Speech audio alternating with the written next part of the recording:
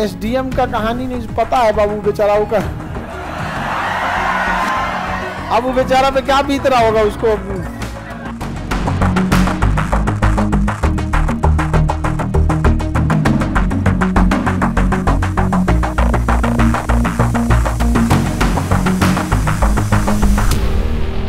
कभी कभी ऐसा गलती करते हैं लोग ना कि बाकियों के लिए रास्ता बंद कर देते हैं। अब कौन पढ़ाएगा? हम आए हैं कि जो यूपी का घटना घटा है ज्योति मौर्य वाला मेरे पति चाहते हैं कि अब हम हम भी नहीं आगे सक्षम हैं पढ़ाने में।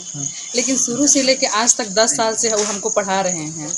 और आज अगर पीछे हट जाएँ तो ऐसे ही तो हर महिला का मतलब मन मनोबल टूटता जा रहा है। कल 136 पत्नियों ने अपने पत्नी को बुला लिया प्रयागराज से जो पीसीएस की तैयारी कर रही थी। अब उन लोगों का सपना तो सपना ही रह गया। इसी तरह तो हर महिला यूपी बिहार या हर देश में प्रदेश में जहाँ देखिए यही न्यूज़ चल रही है। हर लोग पीछे हटते रहे सब लोग कह रहे हैं कि बेटी पढ़ाओ पत्नी नहीं।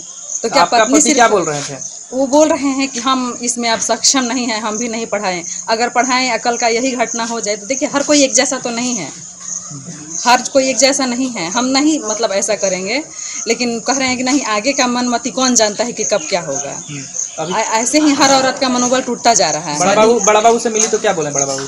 बड़ा बाबू बोले कि नहीं आ, ऐसा नहीं है आप लोग अपने में विचार कीजिए ऐसा नहीं होना चाहिए। अब एक आदमी कर दिया तो क्या सब लोग कर देंगे ऐसे का ही। तैयारी करती थी आप? बीपीएससी का। बीपीएससी की अच्छा एक, शादी 2010 में हुई अच्छा एक बार और आपने बीपीएससी के लिए एग्ज़ाम दिया जी जी। उस टाइम सात आठ नंबर से मेरा चुक गया था बीपीएससी अच्छा सात आठ हाँ। नंबर उस टाइम से फिर मैं कंटिन्यू पढ़ाई करती रही। और अभी फिर लक्ष्य है ऑनलाइन कर रही हूँ पढ़ाई अभी। और अब ऑफलाइन होने वाला था पढ़ाई यहाँ पर जो चालू होने वाला है। तो बोल रहे हैं कि नहीं अब हम इसमें सक्षम नहीं सबसे पहले तो आप लोग के चैनल को धन्यवाद बा। देखिए आज के जमाना सब कुछ देख रहा बा। सब कुछ बा। और उस सब घटना को वजूद अभी तत्काल में अभी नया घटना जो देखे के मिलल प्रयागराज वाला ज्योति मौर्य और आलोक मौर्य के बीच। कि उन्होंने सफ़ाई कर्मचारी होते इतना त्याग करके अपनी वाइफ को, अपनी पत्नी को, अपनी औरत को इतना बड़ा बड़ा जगह पर ले गया। और ले जाने के बाद अगर इस तरह की घटना उनके साथ हो रहा है तो इस घटना से बहुत मैं आहत हूँ।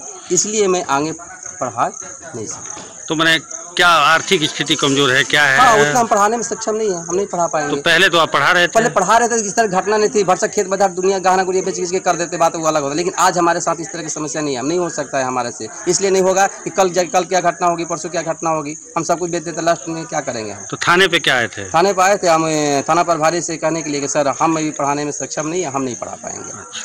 तो मैंने ये पत्नी तो कह रही है कि हम पढ़ेंगे।